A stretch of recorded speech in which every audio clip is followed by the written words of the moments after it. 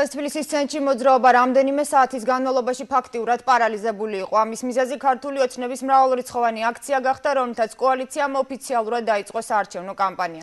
ჩვენი გადამღები ჯგუფები დღეს მთელი დღის მანძილზე მუშაობენ მოვლენების ეპიცენტრებში. ვიწყებ დედაქალაქის ცენტრალური მოედნით, სადაც მიტინგი 3 საათისთვის დაიწყო. მე უკვე საქართველოს მოქალაქე ვარ და ეს მოქალაქეობა თქვენ მომანიჭეთ. ამ სიტყვებით მიმართა თავისუფლების მოედანზე შეკრებულ მხარდამჭერებს დღეს ბიძინა ივანიშვილმა.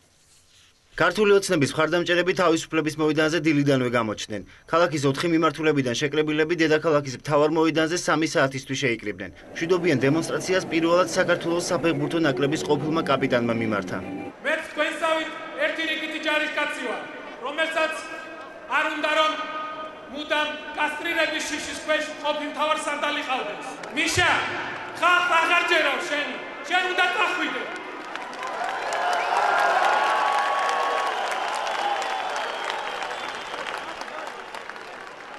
უნდა ისწავლო წასვლა და არა გაქცევა როგორც გარკვეული ბრძოლისველიდან თუ პარლამენტიდან. პოლიტიკაში სპორტიდან მოსულ კალაძეს დავით მაღრაძის გამოსვლა მოყვა. პოეტმა აქციის მნიშვნელობაზე ისაუბრა. ბიძინა ივანიშვილი და ქართული ოცნება. ხელისუფლების ალტერნატივა კი არ არის ამ არჩევნებზე მოახლოებულ არჩევნებზე.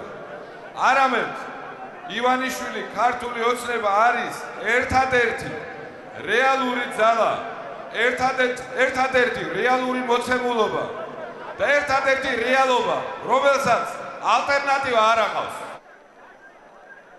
ყველაზე ბოლოს აქციაზე კოალიციის ლიდერი გამოჩნდა. მომღერალ ნატო მეტონიძის მიერ სახელმწიფო ჰიმნის შესრულების შემდეგ ბიზინა ივანიშვილმა მხარდამჭერებს მადლობა გადაუხადა აქციაზე მისვლისთვის. ჩვენი მიზანია არავინმეს დამარცხება, არამედ საქართველოს გამარჯვება. ასეთი იყო ივანიშვილის პოლიტიკური გზავნილი, თუმცა არც ხელისუფლების კრიტიკა დაიწყებია. ჩვენ კარგად ვიცით, ვისთან გვაქვს საქმე. რასთან გვაქვს საქმე? მე ნათლად დავინახე რომ ხელისუფლების უგუნურება იქამდე მივიდა რომ ის უკვე სერიოზული საფრთხეა ქართული სახელმწიფოებრივისათვის. მე დავინახე რომ თუ ასე გაგრძელდა ჩვენ ყველანი სამშობლოს დავკარგავთ. ამიტომაც პოლიტიკაში ყოფნა, პოლიტიკური ბრძოლა მართალი რეჟიმის შესაძლებლობა ჩემი სურვილი კი არ არის, არამედ ჩემი მოვალეობაა. ჯანდაცვა, განათლება, დასაქმება, სოფლის მეურნეობა, ადამიანის უფლებები, ღირებულებები, რომლებზეც დემოკრატიული ქვეყანა უნდა იდგეს. ივანიშვილი არაერთ თემას შეეხო და გამოსვლაში კოალიციის ჩამოყალიბების დეტალებზეც ისაუბრა. ჩვენ ხარესაა თანამედროვე პოლიტიკური და კულტურული ტრადიცია. ჩვენ ხარეს არიან ქვეყნები, რომლებიც დემოკრატია და თავისუფლება სახელმწიფოს ფუნდამენტში ჩადეს. ხოლო ჩვენ წინამდე გარის ერთი შიშარაკაცი. ტრადიციას, თანამედროვეობას, რეალობას მოწყვეტილი რომელსაც სიცრუისა და ძალადობის გარდა არგუმენტი აღარ დამჩენია.